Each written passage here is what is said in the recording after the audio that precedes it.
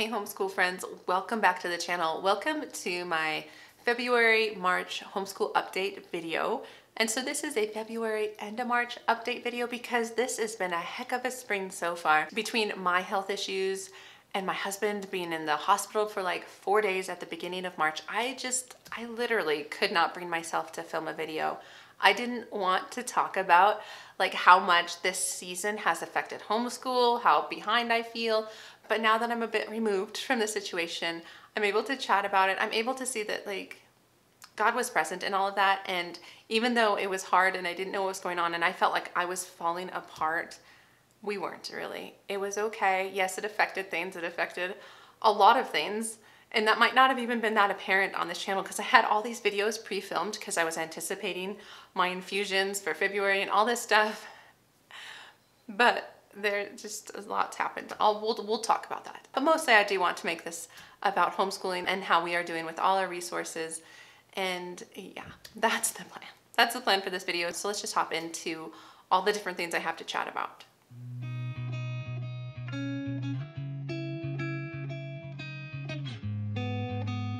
So hi, my name is Angie. Welcome to the channel if you're new. Welcome back, all the things. Like I said, this is my update video for the past couple of months. Now I usually just chat about like life and family subjects and individual subjects and that's my plan. Like I said, it's been a bit challenging and so we've made some adjustments and I want to chat about some of those adjustments. They haven't been major, which is good. I feel like there was a couple weeks in there where I felt like this is all crashing, but it really wasn't. And so, like I said, I went through some health issues in February. I had some scheduled infusions for my autoimmune disorder and the first infusion didn't go as well as expected. There was some complications, some major complications, and it resulted in me kind of going to doctor after doctor and getting my blood drawn. And it was just kind of this whole fiasco, right? I'm feeling much better. I don't really know the plan. We're not totally out of it, but I'm doing much better. And then it was like right when that was kind of starting to feel better, bam, my husband ended up in the hospital. And it was just challenging. Now he's fine and it's okay. And even during that time, I knew he was okay it was just this like overwhelm that kind of brought me down. It was like, it was so hard to hold and to carry all the different things I had going on because I wanted things to stay somewhat normal for my kids. Obviously they knew like things were happening. We're visiting daddy in the hospital and things like that. But I also didn't feel like me falling apart was the best thing for them, right? So I tried to keep things somewhat normal and it was challenging. We changed some stuff for homeschool and really what I ended up doing for this season when things were just kind of overwhelming is we stuck to some obvious stuff. We did math and language arts, but we didn't always do math and language arts. I think that's important because sometimes you'll hear videos and you're like, just do the basics. It's like, well, sometimes all I could do was math with one child. And maybe the next day I would do math or maybe I just do language arts or maybe I do skip counting and language arts. So I would try and like figure out what I could do best. And yes, it probably is gonna push us an extra week or two to the end of May instead of the middle of May. And that's okay because to me, to have chosen to put more on my plate during those couple of weeks was just silly. It wasn't the right decision. And so we just adjusted. And on top of that, we are going to pick up some new things going into the spring, which maybe I will just talk about that now. And so one of the first things we did is as I was looking at my read alouds that were coming up for Sonlight, especially Sonlight HBLC for my big kids, is I had, during my yearly planning, which I'll link that video above, this year I had gone through the whole book list and I had decided like if there were some things I could drop, which would they be? And I am so happy I did that because it made me feel like, oh right, this actually was a book that I was like, it's okay if we push it to summer or if they listen to it on audiobook. And so what I decided to do was to take this book because this was the next book we were supposed to be reading and I just, I have no idea what this book is about. It might be amazing. It just felt very kind of historical. And what I wanted was I wanted something just delightful and fun. And so this was, I think, the March Dart that was coming from Brave Writer. And I knew it was coming. I wasn't anticipating using it, but I decided to get the book from the library and just read it. Like we're not using the dart and all of the things. We used a little bit of the copy work. I chatted through some of the things, especially in the copy work that we hadn't really chatted about before, like semicolons and things like that. And we also go through our Big Juicy Questions. I pulled that out. I use that as my bookmark. And we're just reading the book. And what really drew me to this book was it's about a bird and a boy who plays a piano. And my son has been playing the piano with his grandma for the past year. And I just, I thought this might be kind of something he could relate to. And you guys, he totally has. He's been so inspired to like play piano and different things. And we've been looking up Chopin and like listening to Chopin because this book is about a boy who's playing Chopin in like a competition. And there's this bird that there's just a bird. I won't say more than that, but it was the perfect decision because it just shifted things. It gave a little bit of life and spark and delight to the month. Like I just started it kind of at the beginning of March. And so that was just a good decision. There was another book scheduled for Sonlight that I think we're also going to skip, and it's about average by Andrew Clements. Now, my daughter actually has already listened to this. Last summer I was trying to figure out which books we could listen to on audio and I downloaded this and she just just listened to it without me realizing it and she really liked it. And so I might have my son listen to this too. And yeah, and then that'll be this book. And so I feel like there is freedom in being able to kind of go off script when needed or when, just if you want to. You don't have to have like a life crisis to go off script by any means, but it it helped kind of rejuvenate some things. I feel like also I've been doing a lot of homeschool planning for next year, which those were a lot of the videos I had pre-filmed. And then we are also doing a dinosaur unit. So stay tuned for that. So basically my twins who are six years old have been dino obsessed. And it's funny because I made a video, like I'll, I'll put it above, but this was like three years ago or something. My hair was so much shorter and this was when my son, my oldest, was dinosaur obsessed. And so I had all these resources and I watched my old video to see the activities we had planned and sticker books and different things. And so I watched it and I picked up a lot of those resources again. And I've added a few more because now I have some older kiddos. And we are mainly using Build Your Library's prehistory unit. And we are still using that as kind of a spine and backbone. I just kind of add to it and take away some things. And I am mostly planned to do that kind of post spring break because I'm filming this during spring break and so we have nine weeks left. So during those nine weeks, we're gonna do a dinosaur unit. I still have to figure out exactly what we're gonna drop out of say my twins curriculum in order to make room for this, but I should do that because they're really interested and they're super excited for this unit. They have a little bit of a countdown to when this will start. So clearly it's a good decision. And so that's kind of like broadly speaking, what's going on. As for like specifically, family subjects, what's been going on over these past couple months. You know, it's fine. I feel like I'm a bit tired. I'm a bit kind of burnt out and my kids get that way too. So when we're talking like history for my big kids, we're in year two of two of world history, HBLC for Sonlight, And it's kind of just starting to jumble because by the time we get to kind of these later time frames, you're talking like 1700s and er, early 1900s and there's a lot going on all over the world, right? You're not just talking like, oh, well, only Egyptians is what we're talking about. And I feel like it's been good, but it's been a little bit much. And maybe that's just kind of my mental state as well. But yet there has been some standout stuff. We really enjoyed the explorers. I feel like that set a really good stage for understanding some of the history when you're talking like Central America, South America, or India, or things like that to understand the explorers and who came during what time, what were they looking for things like that. That was really good. That helped my kids out a lot. They also loved all the Louis the 14th, like France and the revolution. I thought they really engaged with that and they just found that really interesting. Maybe it was just his character. And so I feel like history, science, that that's been good. The science for the big kids, my son has been loving because it's getting into kind of more technology stuff. So like we were doing like magnets, electricity, we got to our biography for the year because I love this about Sonlight Science is we got to this book which is Electrical Wizards How Nikola Tesla Lit Up the World and my son was super engaged in this. We actually watched a number of other videos talking about Edison versus Tesla and even kind of modern day Tesla cars and things like that. So this was really good. They loved it. And I think that's that's all I'm gonna say about the HBLC. HBLK it's been kind of a similar story. I feel like my twins have kind of turned their brains off when we've been doing the history. Part of it was this book. This was part of their history, and it's a missionary story. Now, I like these. So, this one's called The Good News Must Go Out True Stories of God at Work in the Central African Republic. I think this is a good book. I did know, based on the instructor guide's notes as well as a lot of the chatter on the Sonlight Moms group is that there is some things about this book that people don't like, like get pretty feisty about. And I knew that. So I just pre-read it. I was reading it. I knew it had to do with like this woman, Margaret, who goes into the Central African Republic and God is calling her and her family, her small children, to go to this remote tribe that is involved in cannibalism. And I knew that ahead of time. So what I was able to do was kind of try and draw out how God is calling us, how all people are important to God. I did not use the word cannibal with my six year olds. I did not want to have to explain it. And I think the heart of the book is still there if you kind of change it a little bit. And that's what I did. And I thought that was what I needed to do for my family.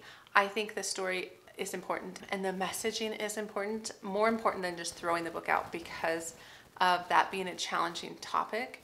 Now, funny enough, cannibalism actually came up in a different book. It came up in this book, Duet. But it was with my big kids and it was the bird actually just kind of mentioned something about how like there's this crazy species of birds that eats other birds and so humans and birds are alike in cannibalism, right? Or something like that. I can't remember the exact wording, but he's like, humans eat other humans? And I was like, okay, we can talk about this. And, you know, but it, it was a 10 year old and I thought that was a lot more appropriate. So I am not a person who is like, I'm going to shy away from hard things. There's an age appropriateness to it. And I think this is a good book. Otherwise, there was so much in it that was good. And so that was a major part of their history. Otherwise, we're, we're going through history rather quickly and they're just not retaining it. And so that was another reason why I was like, you know what, I think I'm going to replace some of that with a dinosaur unit. Might not be all of it, I still have to work that out. But they haven't necessarily been loving the history. They have been loving the science. They always love the science and the experiments and the science guy, and they loved this book. This was like their favorite book of this recent number of months, and it's Wangari's Tree of Peace a true story from Africa.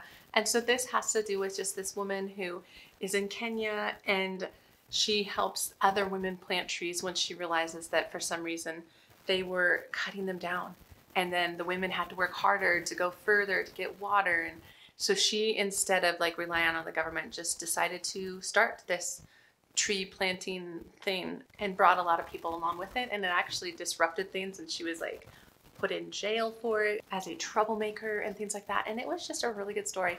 It was fun to talk with my boys about just being stewards of the earth and what God has called us to care for and to care about. And so it was a good story. They really liked it. So I would say that is kind of history Bible literature other than the literature. So read alouds. What we have been reading, my twins, we've actually read more. Yeah, we've read these three books and we read Anna Hibiscus, which we loved. We loved this book. It has to do with a girl in Africa and just kind of her day to day life.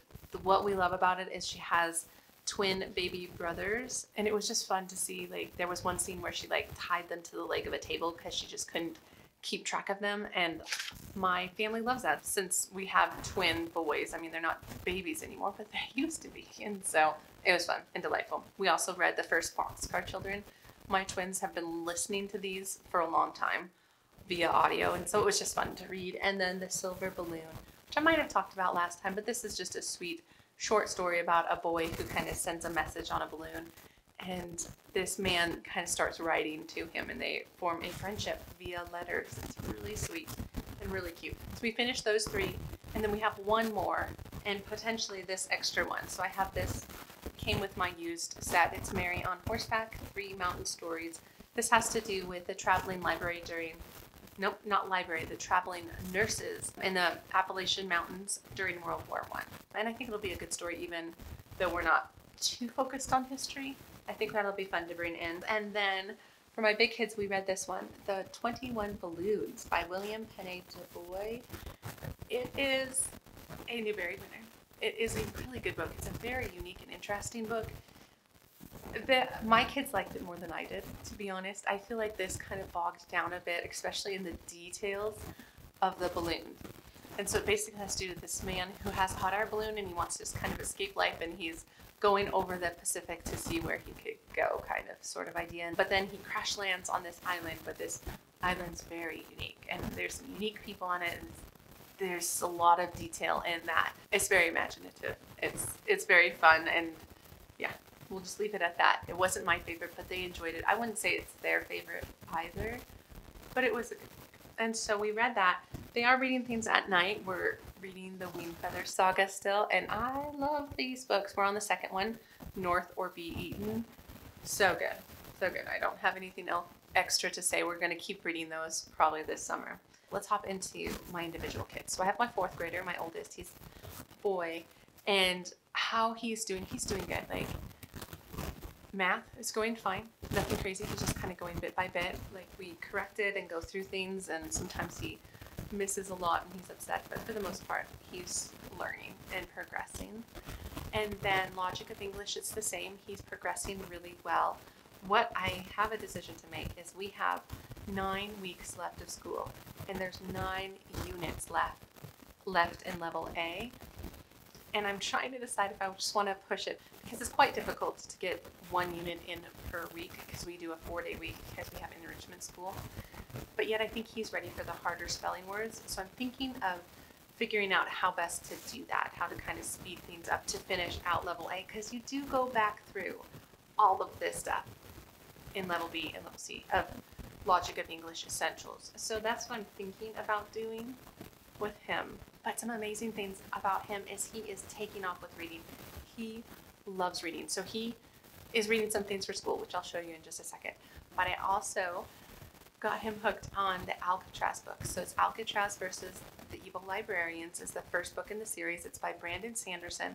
I listened to it on audio first just to see if it was appropriate for him and not too scary. But he's 10 and he loved it he loved the books. And so he started collecting them and he started reading them. Because the audiobooks, there's only the first two, and so there's six books in the series. So he started reading them and he's reading them so fast. And it has perfect, like 10 year old boy humor. There's so many things that just delight him and he wants to tell me about it. So that has been a huge hit. Is that's his free time reading. Like he just finished the last book. He was reading like book four in like three days. It's, it's a decently sized book. I mean, it's like these sizes. And so I'm so excited. I love reading and I love that he is finding something he likes. But he is also reading things for school. So he is reading the Sonlight Level 4 readers. So he read Henry and Ribsy over these past couple months, as well as Socks by Beverly Cleary. They're both by Beverly Cleary. And then he picked this one, Escape from Lemoncello's Library. He is like three quarters of the way through this. And I've been letting him pick because I think we have more then he can go through in level four. So I've just been letting him pick from his stack which ones he wants to read. And he picked this one. And it's one of the biggest ones in level four, but he's totally fine. He's totally ready for it. He's just, he's taken off with reading and it's been really fun. It's been really fun to kind of engage with him on that. So that's been good. The other thing that has been really good, and so I can't remember where I updated you guys on this, where I was I think it was my mid-year update, where for him, he was just kind of struggling with there not being enough structure in the Sonlight Language Arts composition section, and he just requested a more structured program, which I then decided on using structure and style from IEW. That was part of my unboxing in the, I think the last video. And so that's what we're doing. I just didn't want to start that right now. I was like, that's for fall. I still need to figure it all out. So what we decided to use was the Brave Writer Partnership Writing course. And I love that we're just kind of taking this semester to pull out some really interesting projects. And he's done really good. Like he did this little mini book. It's a homophone mini book. And instead of drawing pictures, he kind of cut them out. And we talked about homophones and he just, it was really just a fun little project. He did a whole like timeline and maybe I talked about this last time, but he made a timeline of his trip to Legoland and then the next project he's working on, I think it's called like Who, What, Where, When. And what I love about this is it is a project, a writing project that has to do with research, but it's not with the intention of taking the research and making a paper. It's focused on the research and organizing thoughts and organizing facts and how to find facts, how to write them down, how to like organize them in what category are they in the why category, the how, the who, the you know what I mean? And so I asked him like what he wanted to learn more about. And he said the attacks on 9/11 because he had read a book, this book, the I Survive books, which I highly recommend these for boys at this age. The I Survive books, The Attack of September 11th, 2001. And so this is like a novel, but at the very back there is some facts about what happened on that day. And so he had started with this, but then I was like, okay, I'll go to the library and I'll get more information. And so I picked up this one, America Under Attack, and this one, which I think this one will be the most useful. So this is what were the Twin Towers.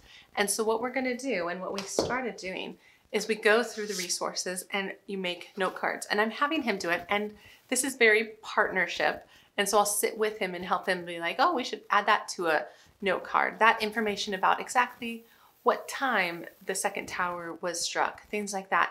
And we write it down. And it's good because then I can see how he wants to write like the whole sentence.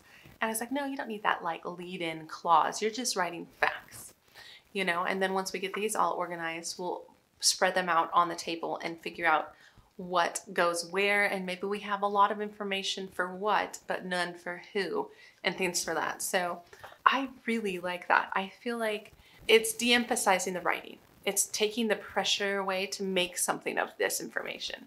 And it's just practicing researching and organizing, researching and organizing. And I'm even considering doing it again with a totally different topic. And so he can just have more and more practice with it. I do believe like Sonlight Language Arts uses some of this like note carding method for research papers. So I think it's perfect because eventually I do want to aim to get back into the Sonlight Language Arts after kind of our stop off in IEW. That's my general plan, but you know how you know how plans go. Anyway, so that's what he's working on. And it's been great. It's been so fun. And then my third grader, my my daughter, she's fantastic. It's been a year of trying to figure her out and it's been good and it's been fine. We're in The Good and the Beautiful level 3. I'll link the video where I talk more about why we switched that. It's been a good fit. She really enjoys the read together books that we read together. She does well with the grammar and the writing because we just had our first assessment. So I was curious how this was going. The spelling is a struggle still, and it's hard to know exactly what to do with her, but it's the first time through. It's the first unit. We have one more unit to do before summer, and so we're just going to see how that goes with the spelling and then I will assess. I just put out a huge spelling comparison video, but I'll assess what she needs come next fall if it's just to continue with the good and the beautiful and maybe we'll make some tweaks with that or I don't really know, but that's the one part of it that she still struggles with. So that is what it is. And then as for math, she's doing fine. She just really hates skip counting and memorizing her facts. And so I didn't realize it had gotten quite as bad as it was until she was starting to get really frustrated with the fact sheets. And so I was like, okay, we're going to dial this back. We're going to work on, I printed out some skip counting sheets that I just put in page protectors with a marker, and she's doing it now every morning. We're going through these skip counting exercises. It's not even during her math time. She'll have math more kind of late morning. And so this is honestly just extra practice. And so that's where she's been.